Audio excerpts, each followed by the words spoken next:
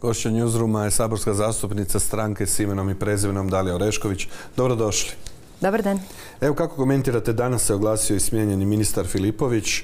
Kaže, on ništa nije znao i ne vjeruje zapravo da je njegov savjetnik uzimao taj novac natrag za sebe jer je on bogat čovjek. Da, ne trebamo vjerovati vlastitim očima i ušima, nego trebamo vjerovati osjećaju, feelingu ili vjerovanju, nevjerovanju jednog e, sad već kompromitiranog ministra. Nemoguće je da ministar nije znao za transakcije koje dogovara posebni savjetnik. Nemoguće je da to nije znao i sam premijer. Prema tome, samo ću kratko se osvrnuti na ovo što su rekli vaši prethodni gosti, ovo što smo čuli iz priloga o svemu što je govorio Neven Vidaković. Mislim da je vrijeme da neko proglasi auzmeš, ali ne auzmeš samo vlasti Andreja Plenkovića. Cijela država je praktički kapitulirala jer korupcijske afere koje sada dolaze u, nekom svom kulminirajućem obliku, vuku repove iz ranijih mandata. Mi imamo 30 godina sustavne pljačke. Nismo stvorili državu, stvorili smo jednu mafijašku, oligarhijsku strukturu, jednu partiju koja nam je praktički otela državu. Kad kažete moraju znati i premijer, pa mora li baš premijer znati e, koja državna agencija e, plaća kojem mediju oglase i kampanju? E, Odgovorit ću vam na to kasnije. Evo tko bi sve morao znati. Svoje vremeno sam u strategiji suzbijanja korupcije, koju sam sastavila kao dio, svog programa, predlagala ustrojavanje javnog registra u kojem bi bili objavljeni svi ugovori javnih e, e, tijela, odnosno tijela javne vlasti s medijima, pa bi se tu vidjeli i e, iznosi koji su plaćeni, ali i sami uvjeti tog ugovora. To je nešto što bi svi građani trebali imati na uvid, pa onda tako i premijer HDZ je to naravno odbio. Ali u ovom konkretnom slučaju, kad me baš pitate je li baš premijer znao za svaku transakciju, ovaj premijer apsolutno da. Andrej Plenković je e, stvorio jedno ozračje i oblik vladavine u kojem je on taj koji odlučuje u svemu, o svakom pitanju u ovoj državi. On je iz toga crpio svoj i politički autoritet i to je bio njegov model vladavine. Nitko, pa tako niti e, e, Jurica Lovrinčević ne bi se usudio ići u ovakve pregovore i dilove da nije znao da ima zaleđe samog premijera. Sve ove transakcije e, koje su dogovarale pola e, e, isplate, ono ispod stola, vraćanje u džep, nisu niti napravljene, niti je itko tvrdio da je baš on sam sebi stavio u džep. On to sigurno nije uzimao samo za sebe, uzimao i za zajednicu, za interesnu zajednicu koja se zove HDZ. E, znači mislite da Lovrinčević je tu moć da dogovara reklame na nekim televizijama crpio izravno od premijera? I on, ali i svi raniji mhm. ministri uhvaćeni u nekim korupcijskim aferama imali su u Andreju Plenkoviću svoje političko zaleđe.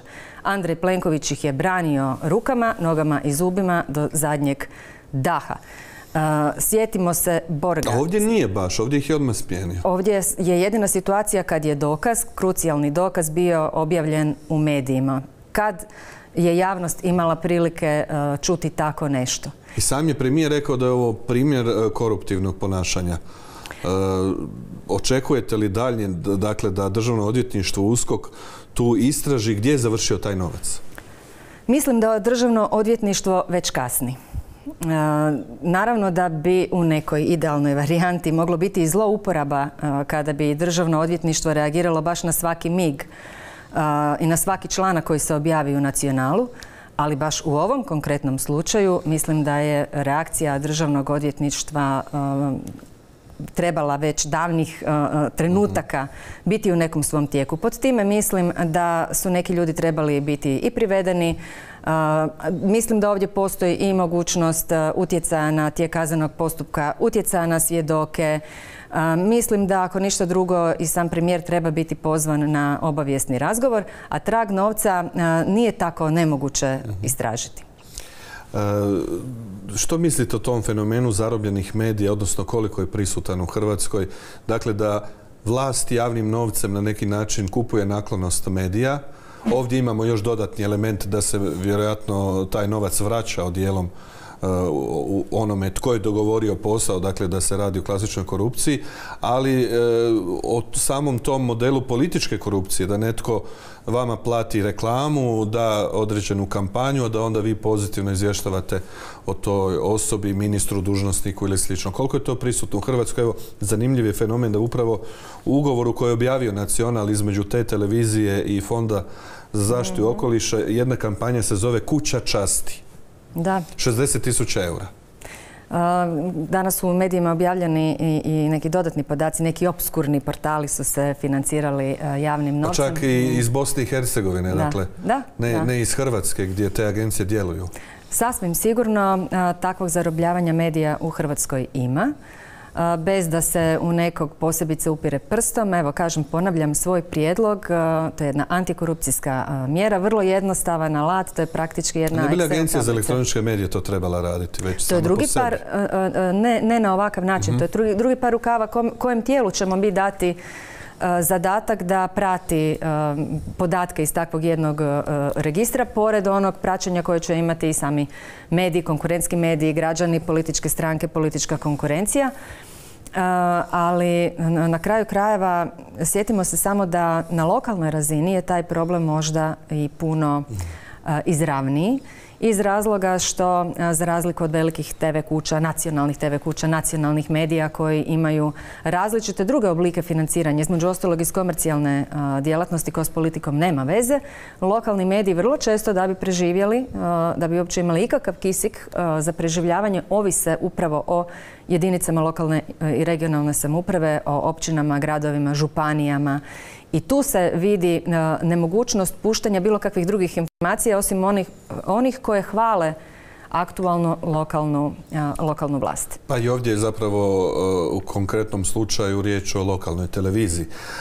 Kako gledate na današnju poruku premijera Plenkovića na početku sjednice vlade da u ovoj aferi nema nikog iz HDZ-a i da ovo njihova afera misleći na most i na medije? Ma dobro, to je e, klasično izbjegavanje e, odgovornosti. Kako nema nikog iz uh, HDZ-a, samo se o HDZ-u i radi, ovo sve ostalo su uh, Valjda Lovrinčevi službeno nije član, a Filipovića ne računa. kako, kako, je to jučer u, u, nacionalnoj emisiji, odnosno na HRT u emisiji Otvoreno rekao netko, Lovrinčević nije član, Most više nije u koaliciji, dakle nema, nema mhm. više nikoga iz HDZ-a. Dakle, ovdje se samo i isključivo o HDZ-u radi. O ljudima koji su od HDZ-a dobili Bjanko punomoć, Bjanko ovlast da u ime i za račun HDZ-a trguju s našim novcem. I to je ono što se u konačnici e, i dogodilo. Andrej Plenković je taj koji je dirigent cijele ove priče, vuče sve konce, a sada je e, pre, preizravno ta kazneno-pravna odgovornost pokucala je na njegova vrata i zato ovakva obrana, to je u principu Ali samo nije, nije dirigent jednog dijela te priče, a to je da je Lovrinčević davao podatke novinaru mreže koji onda davao podatke Nikoli Grmoji. I to je ono što ga najviše ljuti čini se u cijeloj ovoj aferi. Pa to je rekao da je to za njega problem izdaja, jel, povjerenja stranke, a ne korupcija kao takva.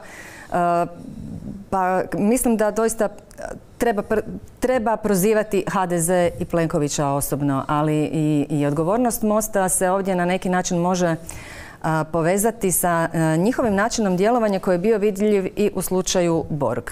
Skloni su tom jednom van institucionalnom rješavanju problema. Tako je Borg skupina i nastala jer je HDZ imao svoje mehanizme, imao je svoje ljude koji su Boži Petrovu došli plakat na ramenu i reći Agrokor je u problemima. Onda je Božo mhm. Petrov poprilično naivno nasijao na tu priču i tako su prvi Borgovci počeli ulaziti u vladu. U tom trenutku, ja vjerujem, čak i s nekim dobrim namjerama, Sjetimo se da tu nije bilo samo ovih daličkinih pajdaša. Bilo je ljudi koji su eto htjeli predložiti nekakva rješenja i vidi se u kasnijem tijeku događaja distinkcija između njih i onih koji su postali kasnije izvanredni povjerenici, posebni savjetnici i. Ali želim reći da je to van institucionalno djelovanje jedna rak rana, jedna od najranjivijih ahilovih peta Republike Hrvatske.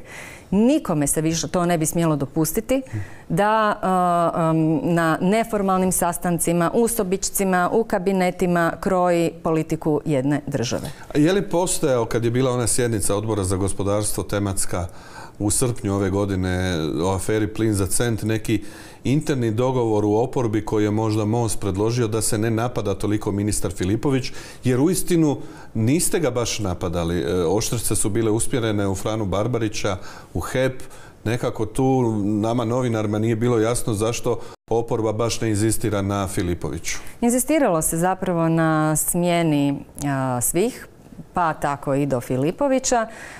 Naravno da su različite političke grupacije sa različitim stupnjem oštrine napadale pojedine aktere. sad da, ne ističem sebe, a da ne, ne Dobro, ja se sjećam da Most i SDP konkretno nisu baš jako kritizirali Filipovića, ne mogu se sjetiti za vas, a da ga je kritizirao domovinski pokret, jasno opet zbog ovih drugih možda veza. Da, tu su bile neke druge veze i tu je, s kim je Pavo Vujnovac dobar, pa će i on igrač. Da, bilo je nekakvih i razgovora u tom pravcu, ali nije sva opozicija uvijek Je vam tad bilo čudno to što Most ne, ne traži smjenu Filipovića? Pa nije mi bilo čudno. Ja mogu shvatiti kako mhm. stvari izgledaju iz njihovog kuta gledanja. Da se slažem s Mostom, bila bi član, uh, član Mosta. Mhm. To su pitanja na koje uh, oni trebaju odgovarati i, i položiti račun svom biračkom tijelu. Moje biračko tijelo s njihovim nije istovjetno. Premijer uh, odgovara na pitanje nakon svih ovih smjena da je afera plin za cent riješena, da je on o tome već sve rekao. Međutim, mi novinari ne znamo što je rekao, koja su to rješenje, nikad nismo vidjeli ono najavljeno izvješće o toj aferi. Što vi mislite o tome? Za Andreja Plenkovića je afera riješena onog trena kad je u medijskom prostoru gurnuta pod tepih. Andreja Plenkovića uopće ne zanima to da se jedan korupcijski e, slučaj dovede do svog kraja na način da se utvrdi kaznena odgovornost, da se e, izrekne sankcija i da se ta sankcija na kraju krajeva izdrži, a da se u državni proračun pokuša vratiti barem mhm. dio otuženog, e, otuđenog novca. Za Andreja Plenkovića ta afera gotova, a uspjela je biti u tom smislu gotova zato što je on u međuvremenu isproducirao čitav niz novih korupcijskih afera, ta jedna hiperinflacija jednostavno ne, ne jenjava. Uh, ovog trena se i slučaj Nina Obiljen Koržinek čini kao neka davna prošlost, a eto, bio je prije svega par tjedana. Pa imamo i ovaj najnovi slučaj Gabriele Žalac i restorana čašćenja europskim novcem. Je li vas to iznenadilo? Pa nije me to iznenadilo, ali kažem u kontekstu svega što je Gabriela Žalac radila i sama činjenica da već neko vrijeme nije, nije aktualna, nekako je taj slučaj stavila na margine trenutnih e, dnevno političkih tema. A... Koliko je važna uloga europskog tužitelja u ovim aferama u Hrvatskoj. Evo vidjeli smo u slučaju ministrice e, kulture da premijer je upozorio europskog tužitelja da to ne treba biti predmet njihove istrage jer nije riječ o europskom novcu. Da, sva sreća, pa ja vjerujem da Tamara Laptoš e, nije impresionirana sa porukama Andreja Plenkovića. Zlata Hrvoj Šipek bi se već možda mogla malo e, povući na, na, na takve poruke. Naravno da bez europskog javnog tužitelja mi ovog trena ne bismo niti imali ali nikakvu borbu protiv korupcije. Sjetimo se da trenutno USKOK nema ravnatelja ili ravnateljicu. Uskoro i Zlati Hrvoj Šipek ističe mandat. HDZ je na potezu jer trenutno drži vlast. Takav Andrej Plenković sa 30 smijenjenih ministara zbog korupcije bit će u prilici da svojoj saborskoj većini, koruptivnoj saborskoj većini predloži novog glavnog državnog odvjetnika ili odvjetnicu. I novog ministra gospodarstva, evo doznajemo, bit će ipak izvanredna sjednica idućeg tjedna. E, kako gledate na to? Jučer je rekao premijer da se nigdje ne žuri, da to može i nakon blagdana u siječnju, sad ipak će e, očito idućeg tjedna se dobiti novi ministar.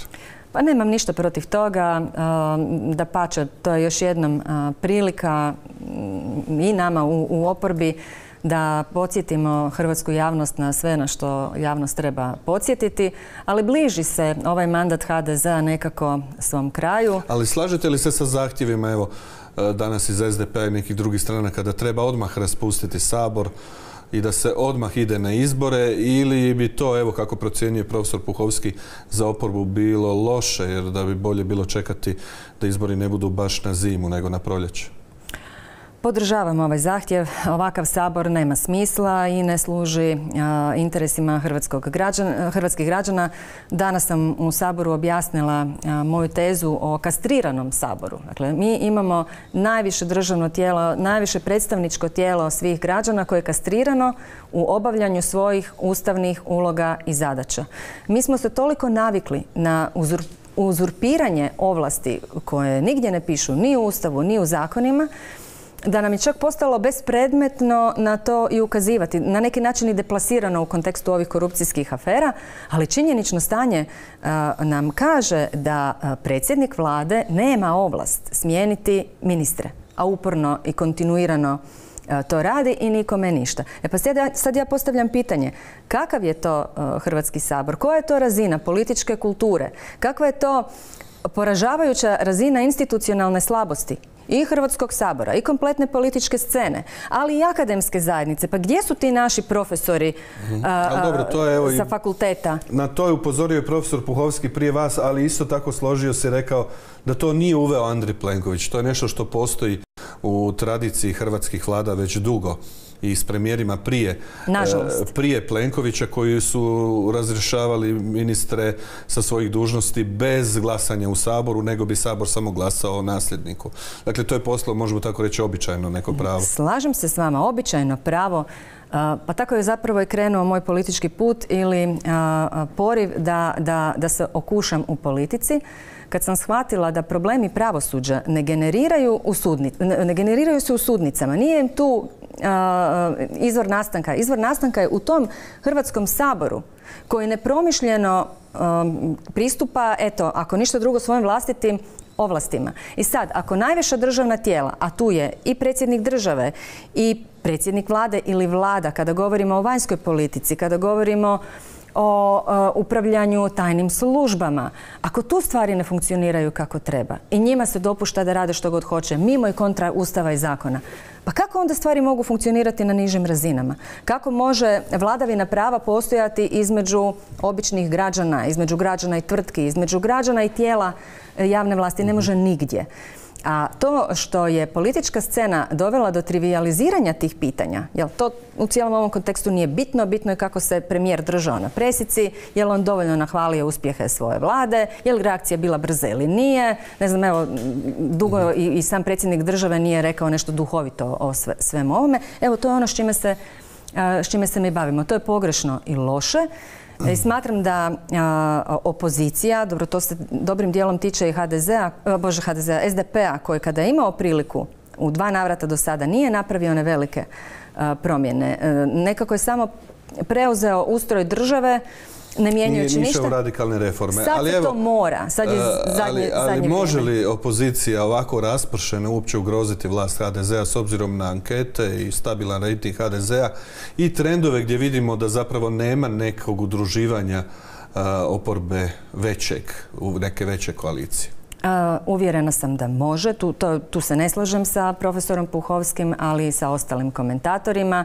Da, u redu, znamo svi da brojke trenutno opoziciji ne idu u prilog. Znamo što nosi Dontova metoda izračunavanja glasova, ali vidjeli smo i ranije da um, kada gledamo nacionalni rating to je jedna mhm. priča, a rating i prolaznost po pojedinim izbornim jedinicama ipak daje neku drugačiju sliku. O tome se u medijima puno ne govori, praktički do pred same, same izbore. Kako komentirate gužvu na centru gdje i vi spadate? Ali vaša stranka je nekakav liberalni centar. E, evo, došlo je do koalicije Fokusa, IDS-a, PGS-a i Reformista. Kako komentirate tu koaliciju?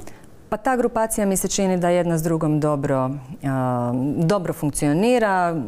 Koliko mandata mogu osvojiti, to ćemo mhm. tek vidjeti. Ono što se meni ne sviđa, ne sviđa mi se izjava Radimira Čačića koji je već jednom podržao HDZ i nekako je dao naslutiti i najaviti da u slučaju potrebe da se formira ili podrži manjinska vlada, a nije napravio onaj disclaimer da kaže ali ne vlada HDZ-a, da bi on to ponovno bio spreman Iako podržati. fokusu IDS-u tvrde da nema šanse da podrže HDZ. Pa, e, ali to je, to je taj trik.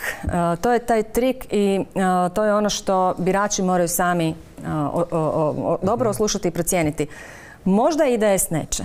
Možda fokus neće, evo nije niti do sada.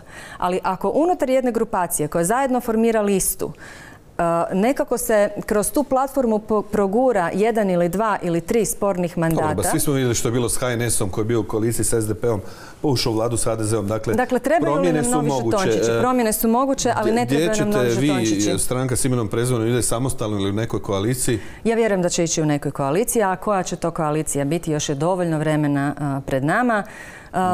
ne vodite neke pregovore? Razgovara se. Razgovara se, ali mislim da smo mi ovog trena ne tako uh, jak faktor da, da bi uopće trebali Očito, imati ali sa centrom vjerojatno ne više, je li? Ne. Ne. To je, ta je ljubav pukla. Ne, nije pukla ljubav, nego, su, um, nego smo se razlišili na nekakvim vrijednostnim pitanjima. E, gospođo Rešković, hvala vam na gostovanju. Hvala vam na pozivu.